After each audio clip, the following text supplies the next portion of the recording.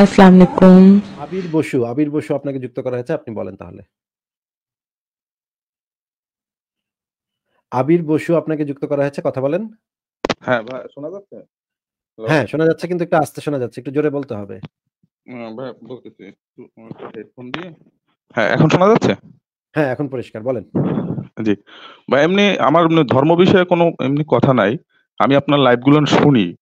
তা ওই ফরাজ ভাইয়ের কারণে আসলে লাইভে যুক্ত হয় না। বলে না যে মমিন, মমিনরা যুক্ত হবেন। আমি আসলে ওই আপনাদের সমমনা আর কি যার জন্য যুক্ত হয় না। জাস্ট একটা রিয়ালাইজেশন আছে আমার জীবনে। সেটা একটু যদি শেয়ার শুনতেন আর কি তাহলে শেয়ার করতাম। আর যদি শোনার ইচ্ছে না হয় তাহলে বলব না আরকি। হ্যাঁ, হ্যাঁ, বলেন, বলেন। আচ্ছা। ২০০৩ সালের একটা কথা। আমি আসলে হিন্দু পরিবারে জন্মগ্রহণের সূত্রে আমি হিন্দু আর কি তো কোনো কিছু বিশ্বাস করি না। এখন তো পুরোপুরি ঘরে আমার উম নাস্তিক আরকি নাম হয়ে গেছে। হুম? এখন ২০০৩ সালের কথা তখন আমি এইটে পড়ি। তখনকার আমাদের একটা ওই যে বিদায় অনুষ্ঠান হয় নাইন টেনে যারা প 10 এ যারা পড়ে, তখন বিদায় অনুষ্ঠান হয় তখন আমাদের স্কুলের একটা মেধাবী ছাত্র আনে। ছাত্রটার নাম হলো গোলাম মাওলা।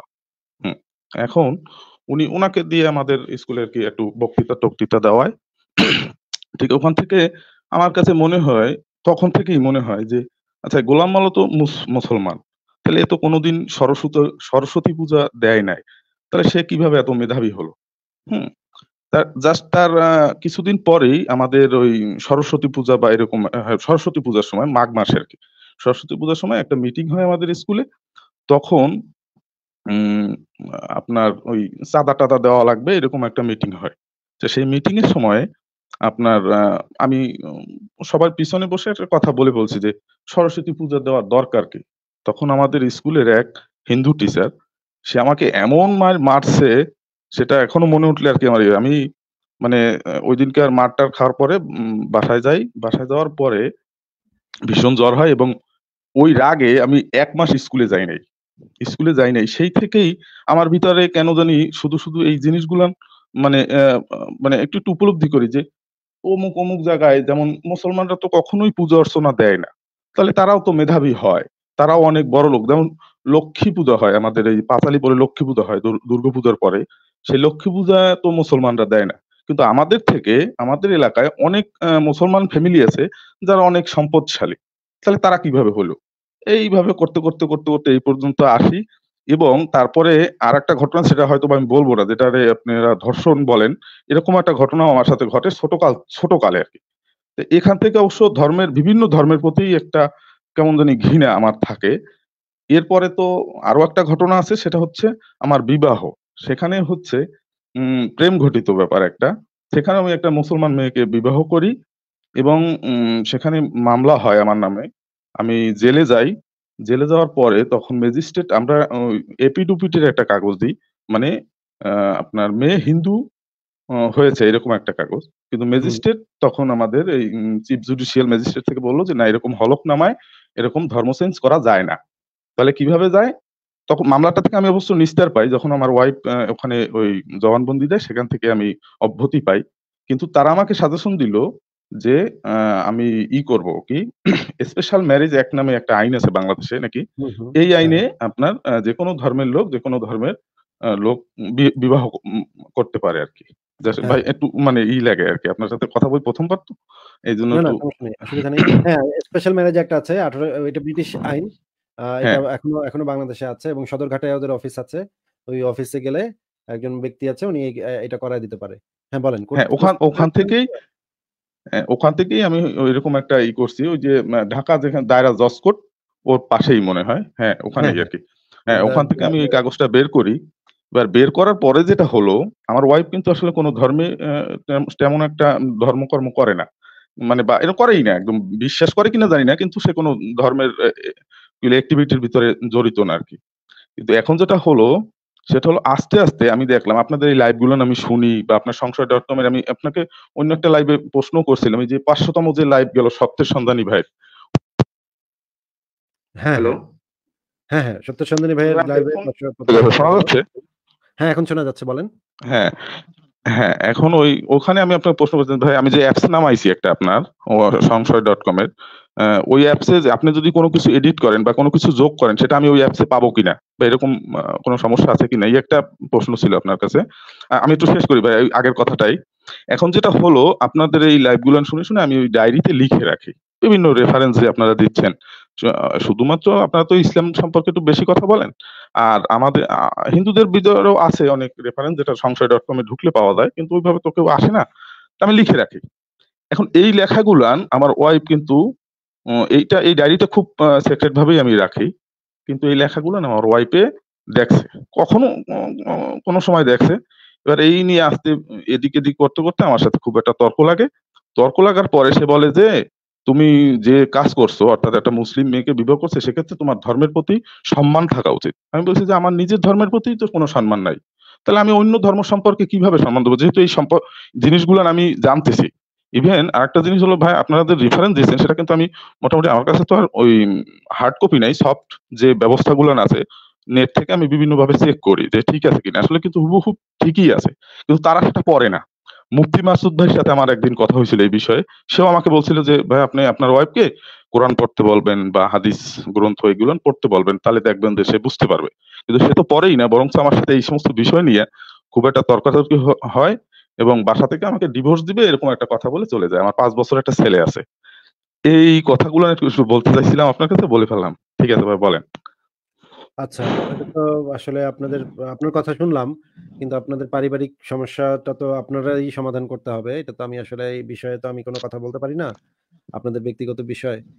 কিন্তু আপনি যেটা আমি যেটা ইয়া দিতে পারি যে আপনি আলোচনা করতে পারেন, কথা বলতে পারেন, আরও আলোচনা করতে পারেন। আস্তে, আস্তে ধীরে, ধীরে এক ছোট, ছোট বিষয় নিয়ে আস্তে, আস্তে আলোচনা করতে পারেন। আস্তে, আস্তে ১ম এই ধরেন একদম আ ১ম এই যদি একদম হাই লেভেলের কথাবার্তা বলেন, হাই লেভেল বলতে আমি বোঝাচ্ছি মনে মনে করেন মোহাম্মদ কি, কি করেছে সেগুলো নিয়ে যদি শুরুতেই কথা বলেন তাহলে একটা ধাক্কা মানুষের লাগে।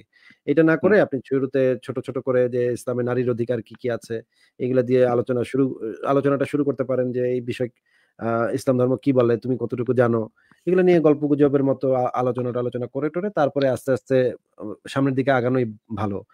একবারে হঠাৎ করে যদি সে এরকম জিনিস দেখতে পায়, আপনি যেহেতু। লুকায় রাখছেন, সেহেতু সে হঠাৎ করে একদিন সবকিছু দেখছে একসাথে। এটাতে সে হয়তো ধাক্কা খাইছে। এই জিনিসটা তো এই জিনিসটা আপনার বুঝতে হবে যে এটা তো একজন সাধারণ মুসলিমের কাছে এটা তো একটা ধাক্কা লাগার মতোই বিষয়। সে তো আসলে কখনো মেনে নিতে শুরুতেই কখনো মেনে নিতে পারবে না। এটা হচ্ছে একটা ধীরে, ধীরে একটা বোঝার বিষয়। তো আপনার উচিত ছিল আস্তে, আস্তেই আসলে জিনিসগুলা মানে তার কাছে খোলাসা করা। কিন্তু যেটা ঘটে গেছে যে আপনি উনি হঠাৎ করে সবকিছু জানছে। এটাতে আরকি ধাক্কাটা লাগছে। আপনি এখন আবার চেষ্টা করেন যে আস্তে, আস্তে কীভাবে এই জিনিসটাকে আপনি আলোচনাটা চালায় যেতে পারেন তার সাথে। ঠিক আছে? জি ভাই। ঘটনা হচ্ছে আমি যে লিখে রাখছি সেখানে তো শুধু দেখা যায় হাদিস নাম্বারটা লিখে রাখছি, হ্যাঁ? বা ধরেন আপনার সুরা নাম্বার, আয়াত নাম্বার অথবা দেখা যায় যে যে আপনি ভবিষ্য পুরাণের অমুক নাম্বার পৃষ্ঠা, হ্যাঁ? এইরকম আমি হয়তো বা লিখে রাখছি। এতে তো কোনো বর্ণনা লেখা নাই। ব্যাপারটা আমার এখানে একটু মানে কনফিউশন লাগে আর কি হ্যাঁ, তাহলে সে আবার নিশ্চয়ই তাহলে খুঁজে, খুঁজে দেখছে যে এটাতে আসলে কি আছে নাকি? না, না আমি এটা আরেকটু বলি আপনাকে। আমি সে একটা জব করে সে সেখানে থাকে আর কি হ্যাঁ? সপ্তাহে দুই দিন আসে আরকি। তো সেখানে আমি একবার গেছি। গিয়ে যেটা আমি পাইলাম আমাদের আমির হামজা, হুম? বিশিষ্ট উম আর বক্তা আরকি। আমির হামজার একটা বই আছে নামাজ শিক্ষা বা কিছু একটা। হ্যাঁ? সেই আমি একটু আসলে ভুল করছি যেটা আমার মনে হয় এখন আপনাদের কথাবার্তা শুনে বা আপনার এই কথাটাই দেখেই বুঝছি যে কোনখান থেকে এটা হলো। সেই আমির হামদার বইতে আপনার নামাজ শিক্ষা সেরকম একটা সে কিন্তু কখনো নামাজ-টামাজ পড়ে নাই। আমি দেখি নাই তারে। ছোটকাল থেকেই আমি চিনি তারে। এরকম আমি দেখি নাই। কিন্তু ওই বইটা তার কাছে আমি পাই। পাওয়ার পরে আমি ওই বইটা পড়ি। পাতলা একটা বই, চটি বইয়ের মতো।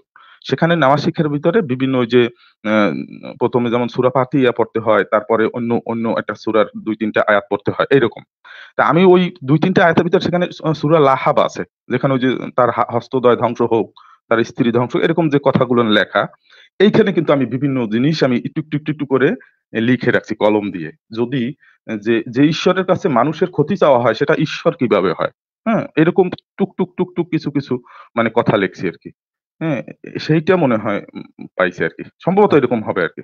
ঠিক আছে আপনি চেষ্টা করেন তাহলে দেখেন উনার সাথে কথাবার্তা বলে এই জিনিসটাকে সলভ করা যায় কিনা। আপনারা যেহেতু এত বছর একসাথে ছিলেন এখন এত দ্রুত তো হুট করে সং সম্পর্কটা নষ্ট করে ফেলা যায় না। চেষ্টা করেন যতদূর কি করা যায় দেখেন। তারপর তো আর কিছু না হইলে তো আর কি নাই। আ ঠিক আছে। আবির বসু ভাই হ্যাঁ। তাহলে আজকে আপনাকে বিদায় জানাই। হ্যাঁ, ঠিক আছে ভাইয়া আ যদি মাঝে, মাঝে মানে কোনো কথা বলতে ইচ্ছারে উম ইচ্ছা করে তাহলে যোগ হলে একটু এড কইরেন ভাইয়া। আচ্ছা, কিন্তু আমাদের এখানে আমরা একটু আসলে আ মুমিন ভাইদেরকে বেশি সুবিধা দেই। আপনি যদি আ নিতান্তই ক আলোচনা করতে চান বা কথা বলতে চান তাহলে আমি পরে একটা ব্যবস্থা করব। কিছুদিনের মধ্যে একটা ব্যবস্থা করব। আমাদের একটা গ্রুপ তৈরি করার যেখানে আমরা সবাই মুক্ত মনের কথাবার্তা বলতে পারব। হ্যাঁ, শুনেছি ভাই আপনার ওই তো ওইটা আপনি প্রস্তাব দিছিলেন ওই লাইভেও। আমি হ্যাঁ, আপনার সেটা লাইভ আমি মোটামুটি যা আছে এই পর্যন্ত সব দিকে দেখে ফেলছি ভাই।